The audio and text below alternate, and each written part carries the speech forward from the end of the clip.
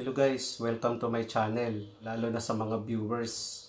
Salamat nga pala sa pagtyaga yung manood sa aking channel. Salamat po sa inyo. Ngayon, mayroon na namang bago akong isi-share sa inyo.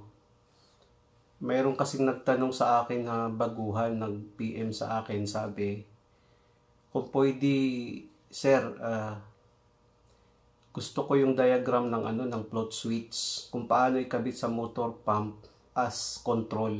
So bali ito yung float switch natin. Itong float switch natin guys, pag puno na ang tank, gaganon siya, lulutang ito kasi mayroon tong pabigat. Ito yung pabigat niya.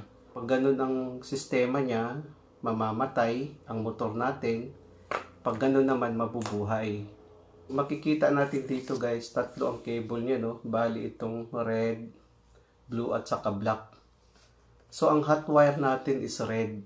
Itong red is hot wire ito. Paano man naman malalaman na pag ganun ay patay, tetestiran mo lang ito, itong dalawa. Diba, nakaganon ang position niya, mayroon siyang continuity, itong red at saka black, ibig sabihin ito yung gagamitin natin. Pag ganun naman mamamatay, so ibig sabihin ito gagamitin natin. Ito namang red at saka blue, iba naman ang function nito.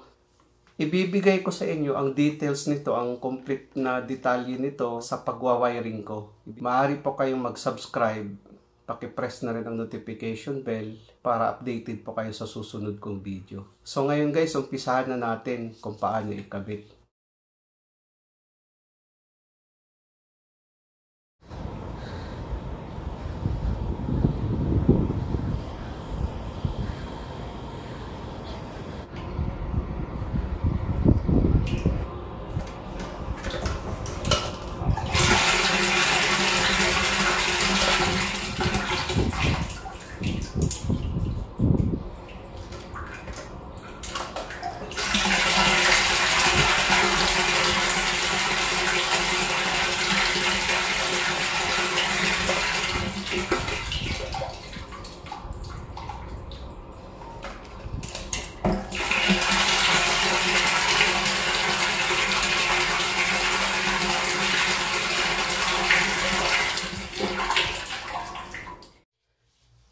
Hello guys, uh, welcome to my channel.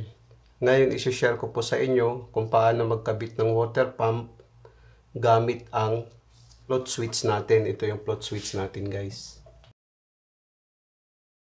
Bago tayo mag-proceed sa actual wiring, alamin muna natin yung device na ating gagamitin. Ito yung line 1 natin, ito yung line 2. Ito yung selector switch natin, ito na yon. Ito naman yung float switch, FS. Ito na yung float switch natin. Tapos ito naman yung magnetic contactor natin. Ito naman yung overload. Kung paano ikabit ang water pump sa contactor natin ay ganito. Line 1, line 2, line 3 sa 3-phase linya natin. Ito yung circuit breaker natin. Ito yung sa contacts ng contactor. Ito siya. Contactor contacts. Ito naman yung overload. Symbols ng overload. Ito siya. Ito naman yung overload natin. Assuming na nakakabit to ngayon dito, ito na yung line 1, line 2, line 3, line 1, line 2, line 3. Bali nakakabit to sa circuit breaker. Assuming na nakakabit to sa circuit breaker. Dahil demonstration lang naman ito, so hindi ko na nilagay yung sa circuit breaker. Ngayon papunta siya dito sa sa contacts. Ito yung contacts dito sa loob. Yung tatlong contacts na ito makikita dito sa loob ng contactor papunta naman siya sa overload relay. So, ang overload relay natin, dito yan makikita. Ito siya, ito, at saka ito. Tapos, ang 3-phase motor natin, assuming na itong lights natin, no? Pagagana ang contactor, iilaw ang lights. Ngayon, para sa mga baguhan, paano mo naman malalaman dito ngayon ang contacts nito? Pag-aralan natin yung contacts nito. Bali, ang function nito, pag nakaganon ang position niya, dapat mag-off yung motor natin. Ibig sabihin, puno na yung tangke, tangke ng tubig. Ngayon, pag gaganon naman ito, ibig sabihin, aandar yung motor natin. Pagbababa ito siya, aandar ang motor natin. Ngayon, paano naman natin malalaman yan dito sa kable? Ang gagawin natin guys, gamitan natin ng multimeter, ilagay natin sa resistance. Kung wala kayong digital, pwede na rin kahit analog yung Sanwa multitester. Ilagay natin ngayon sa continuity check. I-check natin to ngayon.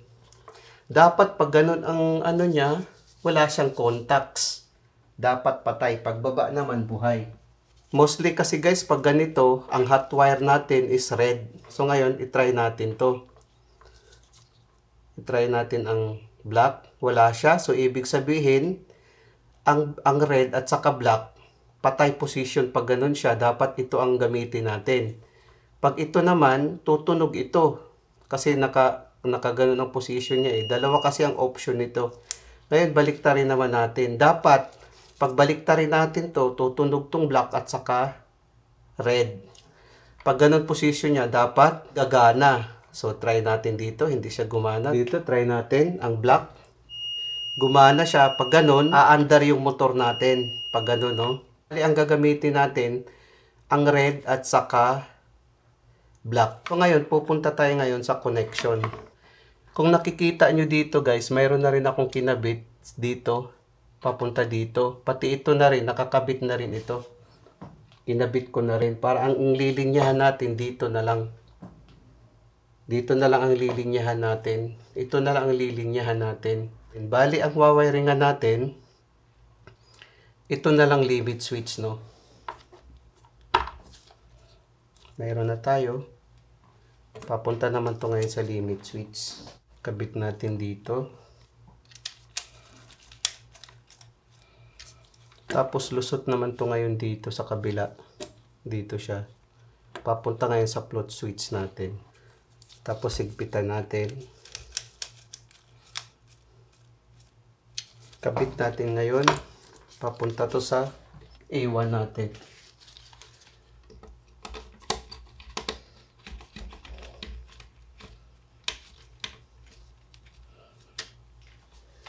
Ngayon, tapos na tayo guys. Tapos na tayo sa wiring. Ngayon, itry natin ngayon. Lagyan natin ng power. Pag ganun ang position niya guys, hindi pa naka-on yung limit switch natin, hindi pa ito gagana, no? Tignan natin. Ngayon, i-on natin ang limit switch. On natin ang limit switch. Yan. Pag ganito ang ano niya, patay. Pag puno yung tubig, patay. Pagbaba naman ito, buhay. So, tatakbo ngayon ang motor natin.